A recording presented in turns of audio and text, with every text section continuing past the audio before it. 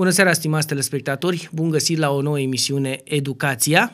De data aceasta, așa cum v-am obișnuit în ultimile două săptămâni, sub semnul istoriei, lecții de istorie.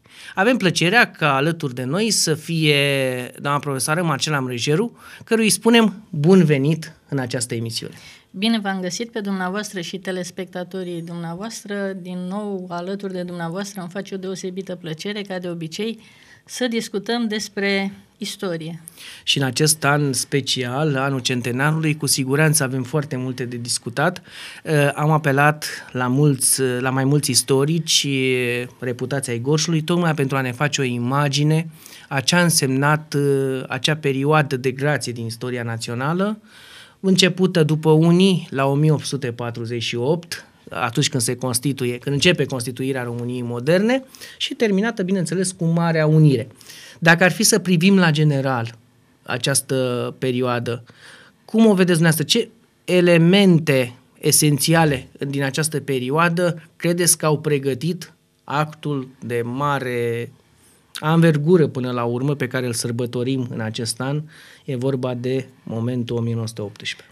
În primul rând, existența unei elite elită politică, elită culturală care a reușit, așa cum a spus dumneavoastră, încă de la 1848 să realizeze o serie de conexiuni cu uh, Europa, Europa care la un moment dat, știm foarte bine, ne-a ajutat, în principal Franța, așa cum s-a întâmplat la 1859, așa cum s-a întâmplat apoi la independență, când uh, iarăși am avut uh, parte de sprijin cu pierderi, desigur că întotdeauna uh, am avut de câștigat, dar în același timp uh, am și pierdut câte ceva.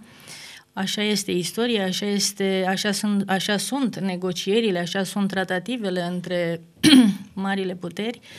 Iar în 1918, uh, existența acestei elite a făcut posibilă unirea într-un context uh, extraordinar de complicat, extraordinar de tensionat, într-un context în care puterile centrale uh, se aflau în degringoladă spre uh, octombrie-noiembrie, în contextul în care uh, Rusia, în Rusia, bolșevicii ajung la putere și Basarabia, Bucovina sunt afectate într-o măsură foarte mare de apariția acestui regim și a Revoluției din Rusia din 1917, revoluțiilor din Rusia din 1917.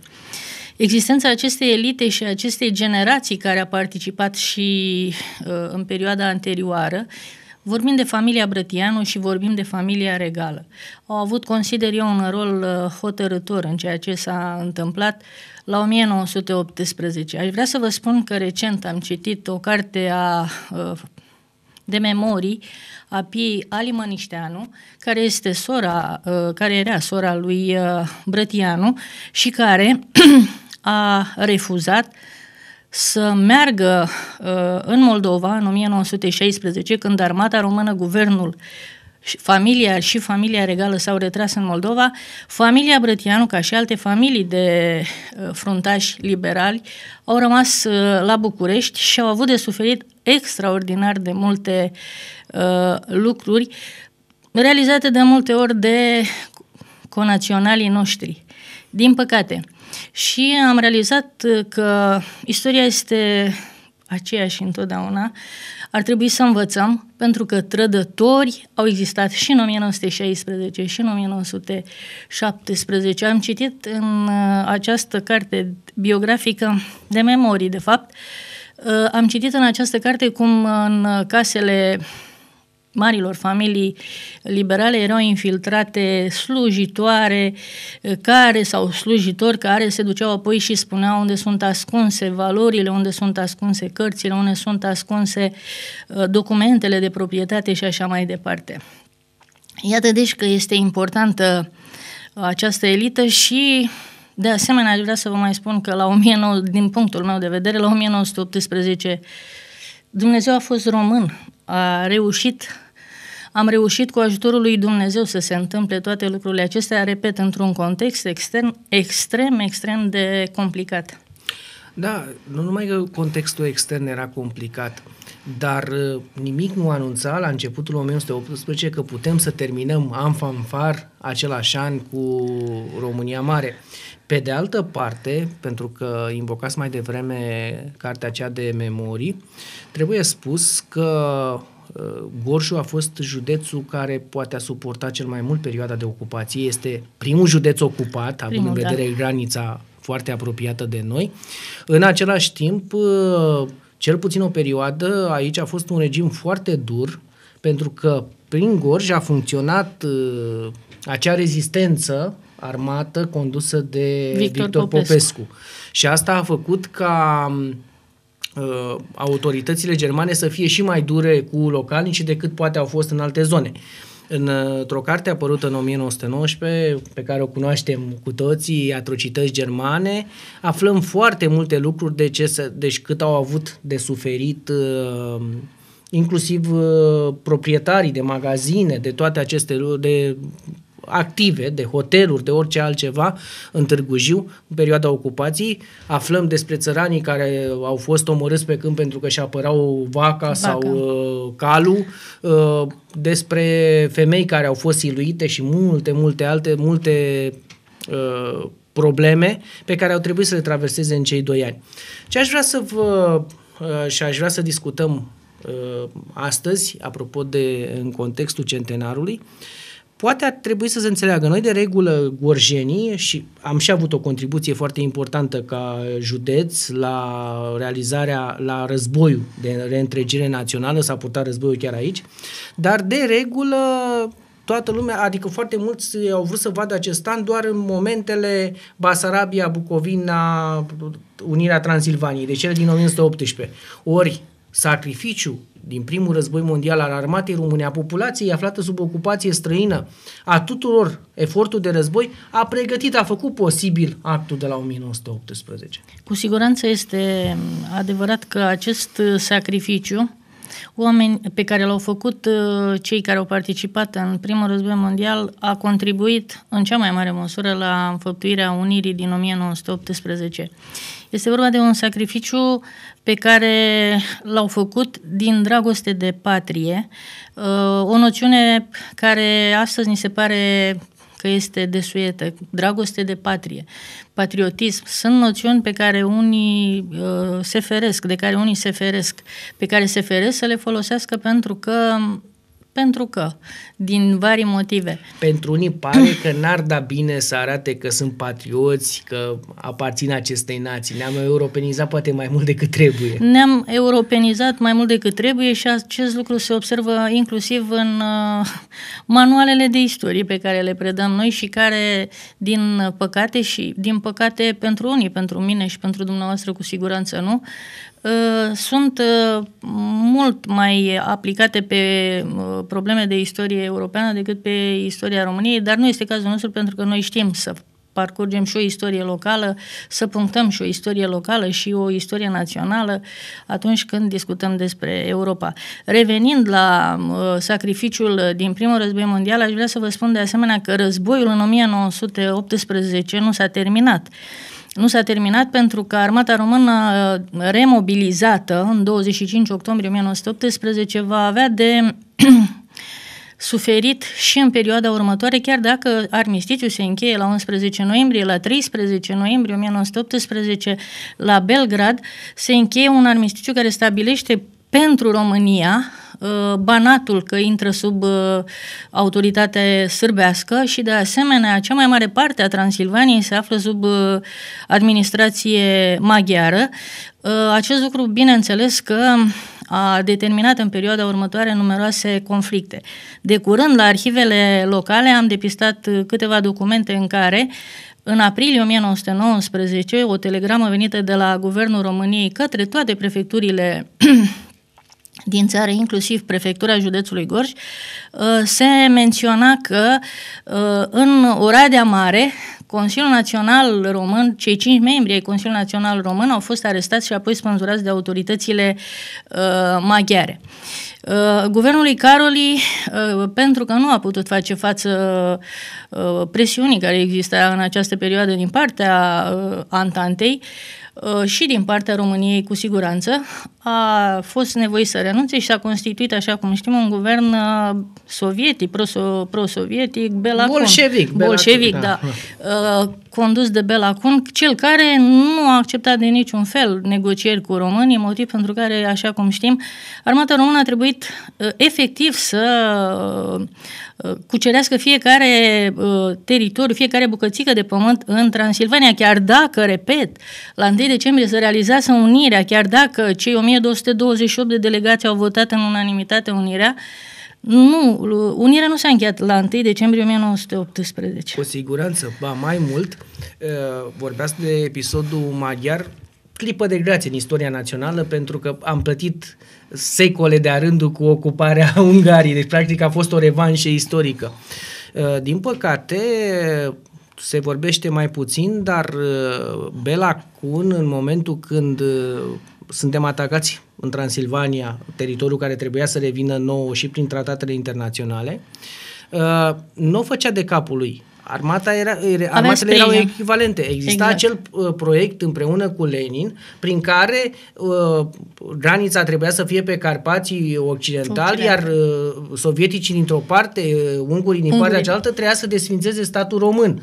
Deci Corect. am trecut, atenție, actul și Marea Unire, iată, la câteva luni doar de la înfăptuire, deja aveam A mari o probleme. sincopă, da, sigur da? că da, o mare Puteam, sincopă. Deci dacă cei de, care au trăit în perioada respectivă nu s-ar fi dovedit uh, destoinici, da. puteam să pierdem foarte rapid ce câștigasem cu atâtea sacrificii, sacrificii. cum vorbeam mai devreme.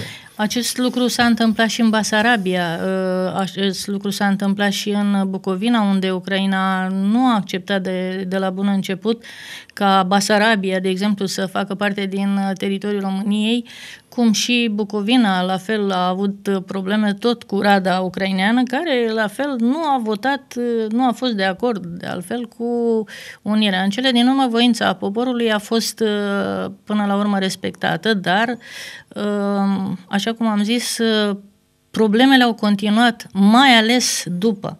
Mai ales după, dacă ne gândim că și în Basarabia, unde exista, uh, existau foarte multe grupări bolșevice, unde exista o, o mare emulație în ceea ce privește uh, reforma agrară, a fost una prima condiție a unirii Basarabiei cu România, așa cum știm, a fost tocmai uh, continuarea procesului de reformă agrară.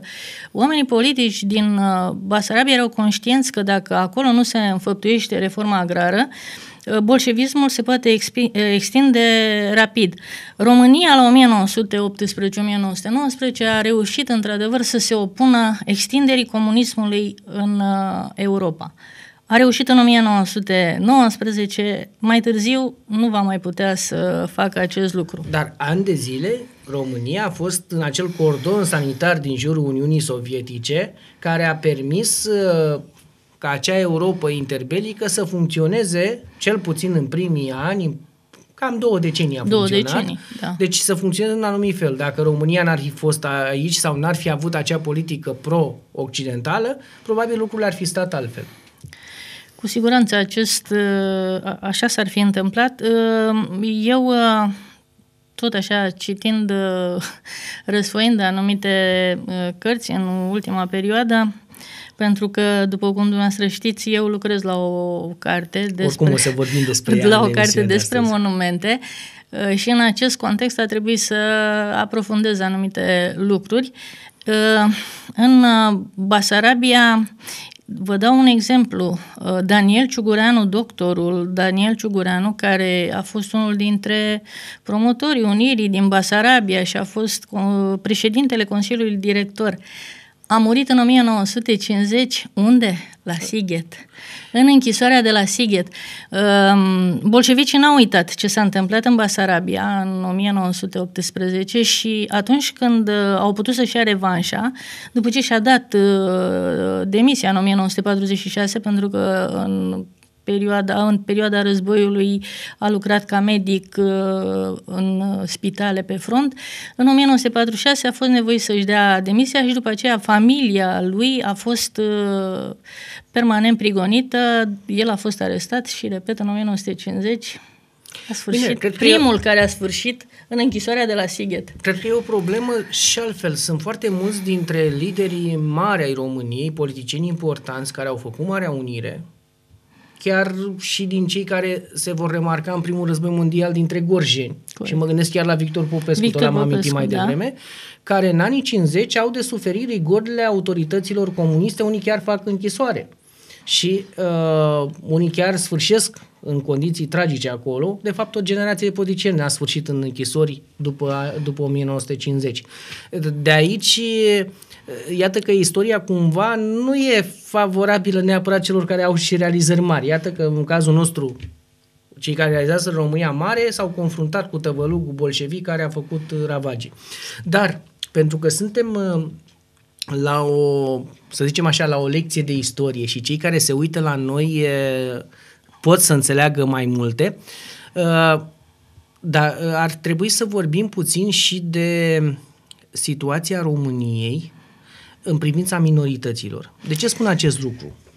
Uh, e clar, indiferent ce ni s-ar spune, 1918 a însemnat acele parlamente, gen Sfatul Țării, gen Congresul Sigur că dacă s-au constituit din da, februarie încoace, Au avut 1917. și minorități în ele care au votat unirea. Corect. Ni s-a reproșat însă totdeauna că n-am respectat uh, drepturile. Dre- drepturile minorităților. E ceva adevărat în toate astea? Vreau să vă spun că singura uh, provincie românească în care românii erau în minoritate, dar la o diferență foarte mică, a fost Bucovina, unde 38,8% erau ruteni și 34,8% erau români. Deci diferență Aici, nesemnificativă. Da. Nesemnificativă, dar uh, românii au avut de partea lor, uh, i-au avut de partea lor pe polonez, să știți, acest lucru și neașteptat pe evrei. Uh, și acest lucru a fost uh, cel care a contat până la urmă. În Basarabia și în Transilvania, cu toată politica de rusificare din Basarabia, uh, în Basarabia lucrurile nu s-au putut schimba în mod radical, astfel încât în Basarabia major, românii au fost majoritari ca și în uh, ca și în Transilvania. Uh, cert este că românii au fost dintotdeauna toleranți și aș vrea să vă mai spun un lucru. Fiind uh, extrem de toleranți, noi ne-am înțeles foarte bine și eu cred că uh, dintotdeauna au fost respectate drepturile minorităților. Unele mici sincope care au apărut, au apărut nu neapărat din faptul că nu au fost respectate drepturile minorităților, ci datorită unor oameni care au avut altfel de comportamente. Dar, în mod normal, românii au respectat drepturile minorităților și, și uh, administrația românească a fost extrem de tolerantă cum de altfel tolerantă a fost uh, administrația turcă, otomană, din Dobrogea. Românii în 1916-1918 în Dobrogea îi preferau pe turci decât pe nemți. Interesantă remarcă. Interesantă remarcă pe care am găsit-o, așa cum am spus, la Pia Alimăneșteanu. Pe Însă mai trebuie remarcat un lucru apropo de, de situația minorităților, pentru că minoritățile au avut drepturi. De fapt, ce ne angajasem la 1918, România au, re, au respectat la, la literă.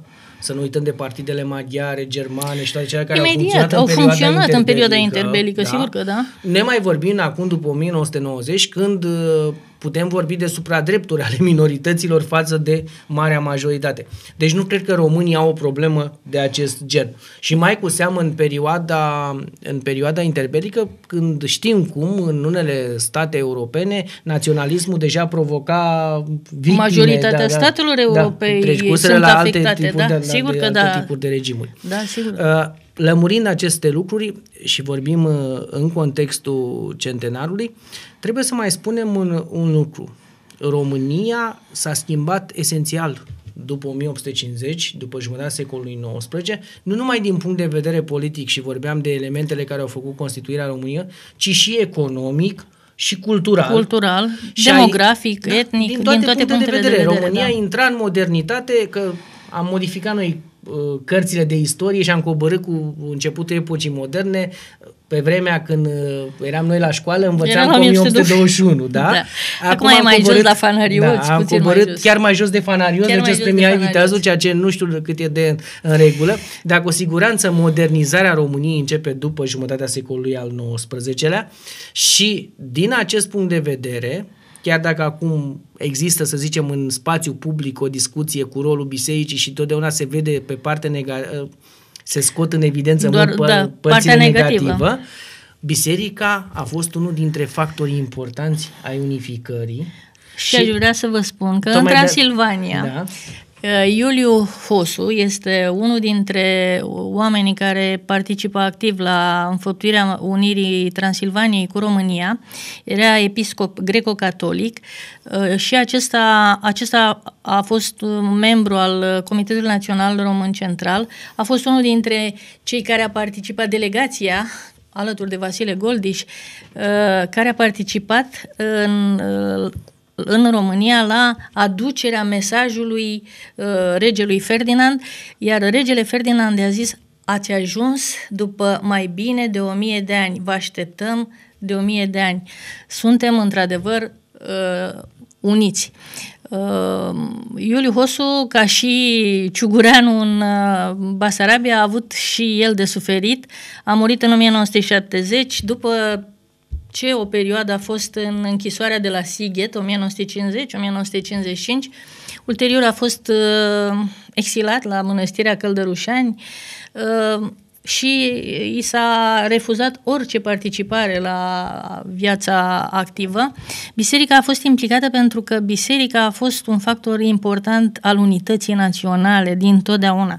Să nu uităm că biserica este cea mai veche instituție a românilor.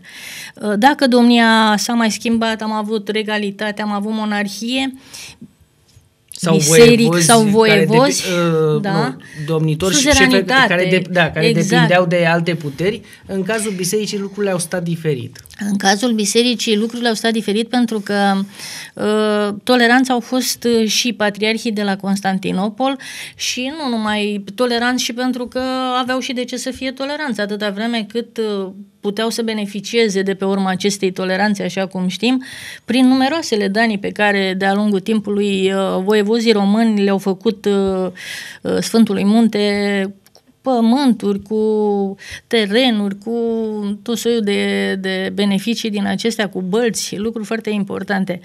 E, biserica a avut într-adevăr un rol important și preoții români, marea majoritate au fost înrolați la 1916, uh, au rămas acasă uh, doar cei mai în vârstă, mai nevolnici, cum se spunea la vremea respectivă, au fost reactivați cei care erau pensionari, Uh, pentru a participa la realizarea, la înfăptuirea actului religios. Și aș vrea să vă spun de asemenea că ei au fost cei care au răspândit și au reușit să-i, să le spună tuturor românilor uh, fie că a fost în uh, Vechiul Regat, fie că a fost în Dobrogea, fie că au fost în Basarabia, fie că a fost în Transilvania sau Bucovina, ceea ce s-a întâmplat și la Chișinău, și la Cernăuți, și la Alba Iulia. Transmițătorii de mesaje au fost preoții în perioada aceasta pentru că, așa cum știm, nu existau alte modalități de transmitere a informației. La slujba religioasă de duminică, preotul întotdeauna avea grijă să spună, să vorbească despre acest lucru și să nu uităm că după primul război mondial au fost numeroase slujbe de comemorare a eroilor, a cimitirelor eroilor și așa mai departe, unde iar în 1918, la slujbă, întotdeauna avea obligația să le vorbească despre ceea ce s-a întâmplat la Alba Iulia, despre ceea ce s-a întâmplat la Chișinău sau la Cernăuți. Deci putem vorbi de o contribuție majoră a bisericii la înfăptuirea visului de veacuri al românilor, acel de Românie, unii de românii, sub o singură conducere putem vorbi cu fără să facem vreo greșeală, pentru că, așa cum am spus și nu aș vrea să mă repet, este instituția care avea și cea mai mare priză la populația românească, o populație care nu era atât de cunoscătoare de carte, uh, care uh, se uita la valorile moral-religioase și la ceea ce biserica avea de, de spus. Adică lucrurile erau foarte clare la vremea respectivă. Vorbeați mai devreme despre faptul că preoții au fost în practic aduși în război, au fost uh, înrolați. Același lucru s-a petrecut și cu dascălii, apropo de proiectul centenar de la nivelul primăriei Târgu Jiu, unde dumneavoastră lucrați la acea carte despre monumentele din Gorj dedicate războiului și o să aflăm mai multe în minutele următoare. Uh, eu lucrez la uh, contribuția dascălilor gorjeni la războiul de reîntregire și de ce spune acest lucru? Unii dintre dascăle au fost și preoți în același timp. Îl avem pe Roșoga, avem da, și alte de la exemple. Turbure. Da. Și în același timp trebuie spus că acești dascăli ai satelor, din luminători ai satelor, au devenit și ofițeri, pentru că era nevoie de ei. În 1914 și 1915, la turnul Severin, s-a făcut o școală de ofițeri în care peste 150 de dascăli gorjeni au devenit uh, ofițeri și gata de primă. Din păcate, mulți dintre ei au plătit cu viața participarea la, la război.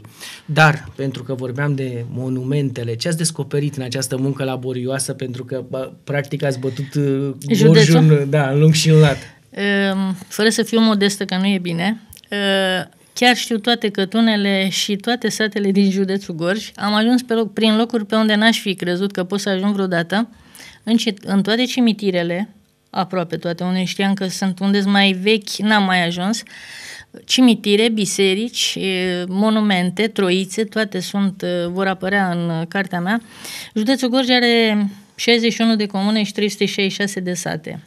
Din tot atâtea câte v-am spus, uh, am depistat până la vremea aceasta când scriu deja, când redactez, 199 de monumente. Unele sunt uitate de vreme și uitate de autorități, și uitate de noi toți, lucru care nu ar trebui să se întâmple. de autorități unele, sau sunt, caz ne... unele au fost uh, mutate. De exemplu, de curând am avut o incursiune la Pinoasa, la Pinoasa unde exista înainte de Pinoasa satul Arderea, și mergând eu la Pinoasa, rătăcindu-mă printre escavatoare, că abia am reușit să ajung și nici cu GPS-ul n-am putut să ajung, am ajuns la școala de la Pinoasa unde am găsit un monument, monument care inițial a fost, repet, în uh, satul Arderea și care a fost strămutat în fața școlii de la Pinoasa din primul război mondial. Uh, în incursiunea mea prin județul Gorj, de la Stoina până sus la Dobrița, Uh, țânțăreni și așa mai departe, novaci, toată zona, inclusiv uh, uh, Covrigi, Samarinești, zona Motru. Deci în, toată această, în tot acest periplu de câteva luni, pentru că nu s-a întâmplat într-o singură săptămână sau o singură, am umblat foarte mult, în afară de faptul că vreo cinci luni am fost în arhive pentru studierea arhivelor în acest domeniu și pentru a citi presa din perioada respectivă. Am identificat monumente inedite, unele extraordinare. La Stoina, de exemplu, am găsit un monument al uh, eroilor care are harta României Mari. Este singurul, dacă stăm să ne gândim că la vremea respectivă Stoina era de Dolj, am găsit un monument și în județul Gorj de atunci, și anume la Polovragi, un document cu harta României Mari.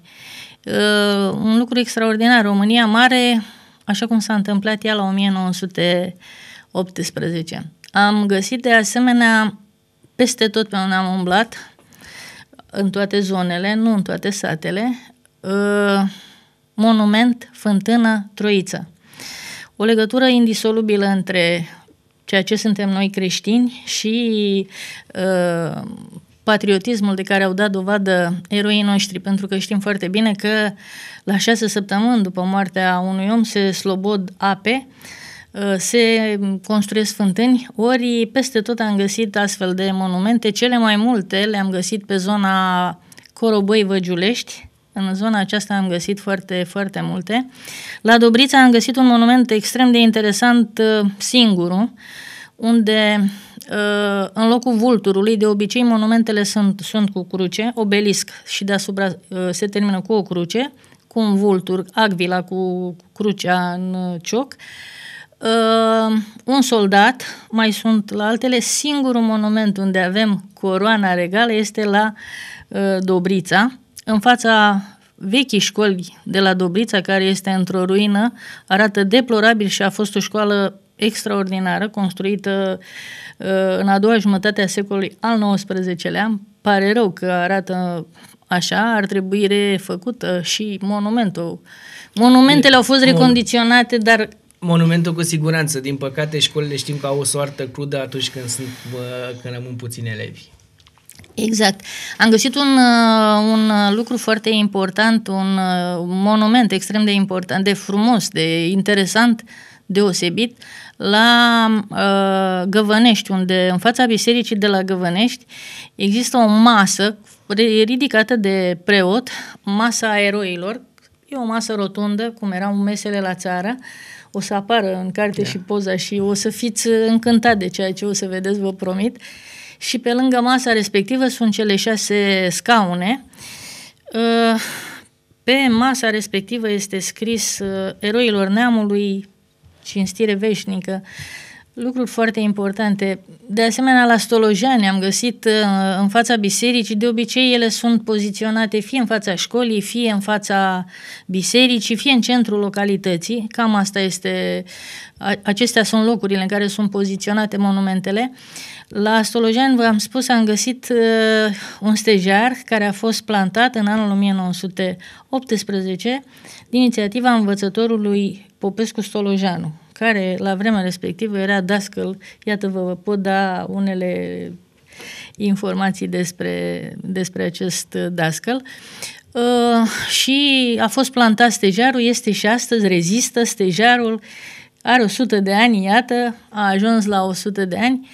Uh, am găsit uh, peste tot uh, monumente uh, care unele dintre ele uh, sunt într-o stare deplorabilă din nefericire, unele sunt recondiționate fără să se țină seama de ceea ce a fost inițial monumentul, adică mai modern, cu uh, marmură neagră, cu marmură de tot felul. Monumentele la, în perioada interbelică, unele, cele mai multe au fost dedicate în perioada interbelică, nu aveau marmură, iar uh, această marmură în unele locuri nu a făcut decât să acopere anumite înscrisuri care sunt pe monumente. Pe monumentele realizate în perioada interbelică apar bătăliile de la Mărăști, Mărășești, Oituz, Cerna sau Jiu. Patru sunt pe fiecare și pe fiecare dintre aceste laturi unde există bătălie există și numele celor care și-au dat viața în aceste lupte.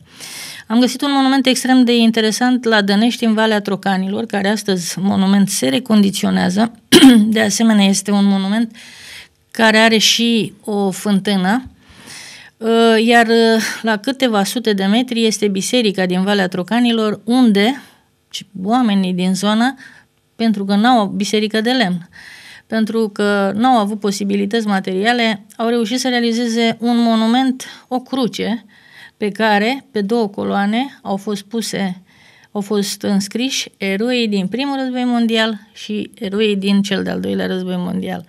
Adică există uh, zone în care, într-adevăr, se vede preocuparea pentru, da, preocuparea celor dinaintea noastră, repet, pentru uh, eroi și pentru cei care și-au dat viața pentru această țară. În arhivele de la Târgu Jiu am găsit un lucru foarte foarte frumos, foarte interesant, apropo de ce evenimentul care s-a întâmplat săptămâna, s-a petrecut săptămâna trecută uh, prin uh, comemorarea lui Vasile Craiu, care în 1927 a fost adus uh, de la Bârlad. Am găsit acest monument în care familia primește o anumită sumă de bani pentru aducerea oaselor acestuia în județul Gorj, în Târgu Jiu. Același lucru s-a întâmplat în perioada 1919-1920 cu toate celelalte morminte care presărau județul Gorj, pentru că, așa cum a spus noastră, în județul Gorj s-au dat uh, lupte extrem de grele peste tot și la un moment dat am găsit în uh, un document în care, uh, fiind în excursie cu elevii pe muntele de la Runcu, un învățător a găsit uh, osemintele osemintele unui participant la uh, primul război mondial pentru că i-a găsit uh, uh, inscripția unde apărea numele. Acesta era de la Bărbătești și după câteva demersuri făcute de familia acestuia, a fost repoziționat la Bărbătești, unde se află și astăzi, pentru că am fost să văd dacă există mormântul la Bărbătești. Da, iată, povești interesante adunate în aceste monumente. De fapt, o istorie care se poate scrie și prin intermediul Și prin intermediul, monumente. pentru că știți, am încercat să identific și alte lucrări despre monumentele din județul Gorj. Există doar o listă, pur și simplu, a monumentelor. Cât este ea de completă măcar? Nu este completă. nu este, este foarte incompletă, ca să mă exprim așa, uh, mai ales dacă iau în calcul doar monumentele din primul război mondial, dedicate primului război mondial. Pe unele monumente apar și eroi din cel de-al doilea, este vorba de cei, acele monumente care au fost făcute în perioada post-belică, unde apar și eroi din cel de-al doilea război mondial. Dar uh, și-am mai găsit o carte publicată la 1973 unde la fel pentru toată țara s-a făcut așa o s-a realizat așa un fel de inventar. inventar al tuturor monumentelor și am găsit 50 de monumente în județul Gorj. Repet, eu astăzi am 199. Nu înseamnă numai monumente, înseamnă și troițe, înseamnă, înseamnă și uh, fântâni și am mai găsit un lucru extrem de important, toate, dar absolut toate bisericile, în toate bisericile de parohie, în fața bisericii există crucile celor care au murit în primul război mondial sau al doilea război mondial. Sunt uh, poziționate aceste cruci, iar acum, astăzi, am recitit un articol din ziarul Gorjeanu din 1935, unde Gheorghe Tătărescu realizează pentru prietenul său de vânătoare Lărgeanu crucea de la Drăgoiești Crasna, pe care eu am găsit-o, am fotografiat-o și uh, crucea aceasta a fost, și monumentul de la Drăgoiești, din uh, comuna Crasna, a fost ridicat de Gheorghe Tătărăscu și Aretia Tătărăscu.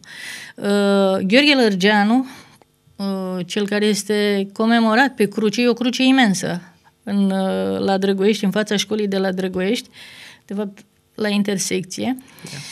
Uh, această, acest Gheorghe uh, Lărgeanu a fost uh, partenerul de vânătoare, era partenerul de vânătoare al lui Gheorghe Tătărescu atunci când acesta ajungea pe meleagurile natale.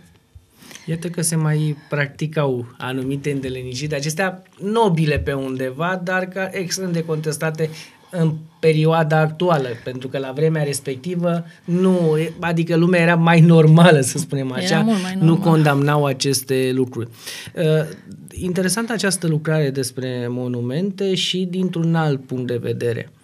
Uh, dacă ar fi să privim uh, perioada interbelică care urma după marea realizare și automat au fost foarte multe monumente făcute. Perioada de după al doilea război mondial, perioada comunistă, în care s-au făcut destul de multe s-au monumente, făcut monumente da. și perioada de după 1990.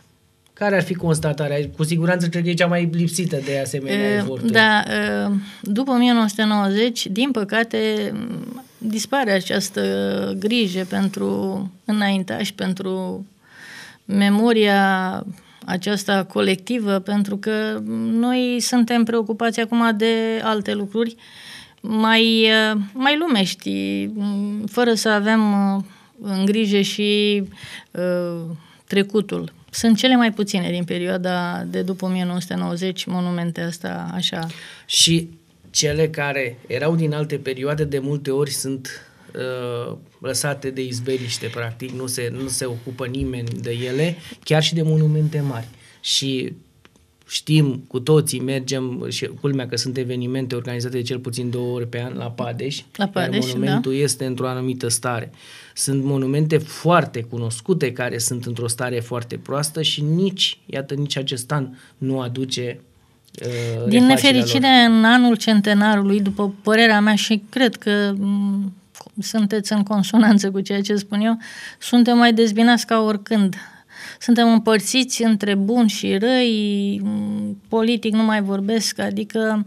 Păi nu, toate vin de, se pare, de la partea de la politică. partea politică, pe care noi nu înțelegem că, cum să spun, fiecare are propriile păreri și trebuie să accepti că părerea mea nu coincide cu părerea ta. Este, este, așa trebuie să fie așa o țară democratică fie. E normal și în care să accepti dialogul. Tău, da. Exact, și e normal să accepti dialogul, pentru că altfel, dacă n-am fi diferiți, ar însemna să fim iarăși ca pe vremea lui Ceaușescu, când toți trebuia să gândim la fel și să facem la fel. Noi am pus niște etichete dintr-un fel sau altul și din acestea nu mai ieșim și automat toate ni se par sau încercăm ca toate evenimentele să le circumscriem acelor idei destul de sărace și rudimentare, ca să nu zic altfel. Dar, ă, până la urmă, trebuie spus despre centenar. Bine, Gorjul este într-o situație privilegiată, mă refer cel puțin la nivelul a două instituții, primărie Târgu Jiu și Consiliul Județean, pentru faptul că proiectele depuse Sunt au luat multe. finanțare. Da. Finanțarea a și venit, de se pot derula. Unele din evenimente au fost chiar în aceste zile. Ați amintit mai devreme uh, Comemorarea lui Vasile, lui Vasile Craiu. Craiu. Au fost după aceea comemorarea luptelor de la, purtate în 1916 în uh, Poiana, Poiana lui Mihai. Mihai unde există un monument extraordinar. Da, și dedicat din, lui Mihai Viteazu, totuși. Și este, primul. Da, și apare, este ceva și despre primul război. Da, da, da, și despre primul uh, război mondial. Apropo de, de centenar, uh, eforturile uh, trebuie totuși făcute, chiar dacă, să spunem, la un moment dat, uh, generația mai tânără uh, e atrasă de alte lucruri, altfel văd să spunem așa, activitățile culturale sau de orice alt interesul este foarte scăzut, trebuie să nu ne uităm istoria și să nu uităm ce s-a întâmplat atunci, pentru că, din nefericire, nu cred că vom mai reuși să facem ceva de anvergura acelor uh, lucruri uh, săvârșite în Ne-ar trebui o generație de la 1918. Sau una de la Sau 48. de la 1948. Da. Generația de la 48, acum trebuie să fim, să fim foarte sinceri cu noi, este generația care a făcut România mare și care n-a avut niciun beneficiu personal din uh, toată această activitate. Mai mult, au avut de suferit toți și care au luptat pentru România la vremea respectivă, pentru realizarea României, au avut de suferit în perioada respectivă, nimic de câștigat. Erau oameni care aveau proprietăți, erau oameni care dispuneau material de, de orice, adică era o elită intelectuală care uh, a pus mai presus de orice interesul național. Interesul național, E, astăzi interesul național, vorbi, da, putem vorbi de interesul este național. o noțiune care Părerea mea este că e pe cale de dispariție. Vorbeați de cele două dinastii, una românească, Brătianu, cealaltă regală, Hohenzoller, germană. Invocați la începutul acestei emisiuni și meritul acestor, îngemânarea dintre aceste două, două familii, familii mari care au făcut posibile toate marile realizări din, de până în 1918, dar am avut contribuții esențiale din partea, aveam o clasă politică care se forma nu la apelul bocancilor, nici în, uh, mergând în clasa politică, în politică ca să facă avere, ci au avut drept obiectiv chiar interesele naționale. naționale. Au făcut politică de carieră, au fost crescuți, și nu, aici nu vorbesc mai de brătieni, în care au fost crescuți pentru a conduce țara, pentru a realiza anumite și de aia au putut fi și urmărite obiectivele din generație în generație. Da, pentru că nu au avut alte interese meschine de grup sau personale, au avut interesul național mai presus de orice și acest lucru s-a văzut, acest lucru se, se vede și astăzi. Noi suntem incapabili, generația de acum suntem, este incapabilă să să constate aceste lucruri. Eu cred că ar trebui să facem mai mult, noi profesorii de istorie, la orele de istorie și să vorbim mai mult de istorie locală, să vorbim mai mult de istorie națională și să le povestim, chiar dacă nu terminăm lecția pe care o avem de predat, chiar dacă copiii sunt foarte curioși. De exemplu, eu promiteam la începutul anului școlar elevilor mei de clasa noua de la Colegiul Național Tudor Vladimirescu 5 minute de istorie locală. În fiecare, la fiecare oră se uitau la ceas la ultime și mi-arătau uh, cu mâna că a venit vremea istoriei locale. Perioada în care le povesteam despre istoria liceului, le povesteam despre personalitățile care au trecut prin liceu, despre centenar, le-am vorbit foarte mult despre Caterina Teodoroiu, despre toate monumente.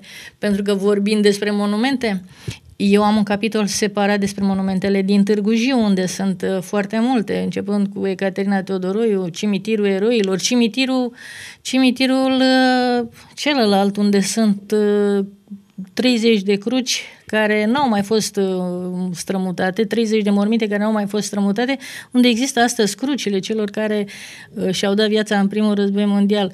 Există de asemenea monumentul de la Vădene, adică există axa pe care Brâncuș a realizat-o în memoria celor care și-au dat viața în primul război mondial. Uh, și lucrurile astea se vor regăsi în cartea mea.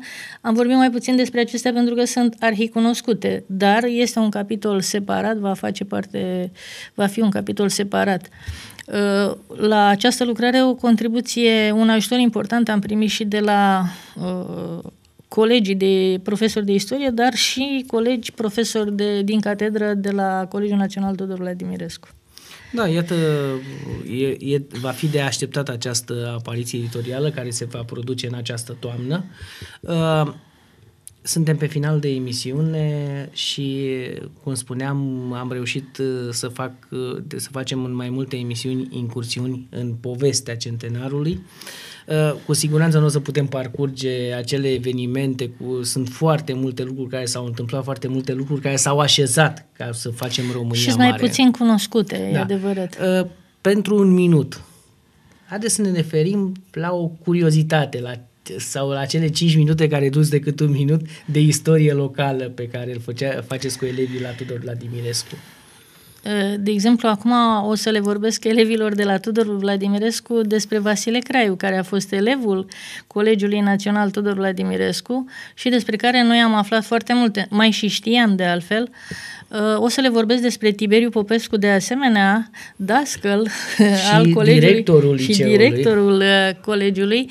Uh, o să am mai multe date, le-am mai povestit, dar despre nu atât Sterian de mult. Sterescu. Despre Sterian Sterescu, care la fel știu când a fost adus din Moldova uh, și înmormântat în Târgu Jiu. Apropo de provocare cu Stelian Sterescu, dascăl la Tudor Vladimirescu, șef al regimentului 18 Gorj, Petre Popeangă, învățătorul de la Leleș, a căror memoriile parcurg parcurg acum cu ajutorul primăriei Târgu Jiu, din nou al domnului viceprimar Adrian Tudor, care mi le-a pus la dispoziție, uh, am găsit un lucru interesant.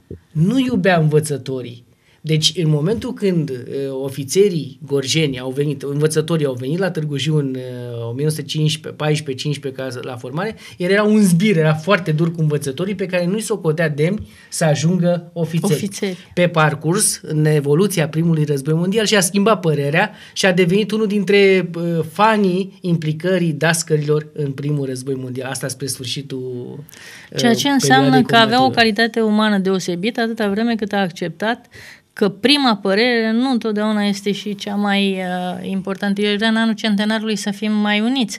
Asta le spun și elevilor la clasă, adică să învățăm că uh, la 1918 s-a realizat unirea. Unirea înseamnă să fim unii lângă alții, să nu să simțim la fel, dar pentru țară trebuie să simțim la fel, să, să avem aceleași idealuri pentru țara asta și să vrem binele tuturor, că dacă vrem binele tuturor și nu neapărat pe al nostru, este nu, un mai lucru... dezbinească niciodată, românii vor găsi și știm asta din istorie. Da, ca Phoenix renasc. Da, vor, vor renaște de fiecare dată și România va, va reuși să supraviețuiască, chiar dacă suntem într-un moment mai puțin fast al istoriei naționale, cel puțin din privința dezbinării.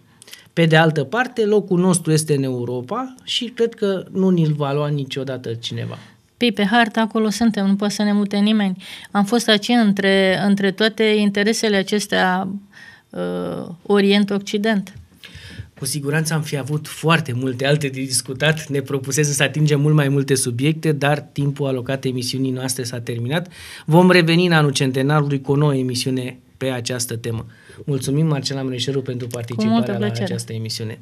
Dragi telespectatori, a fost emisiunea Educația. Am fost împreună cu doamna profesor dr. Marcela Mreșeru de la Colegiul Național Tudor Vladimirescu. Mulțumim pentru atenție. La revedere! Thank you.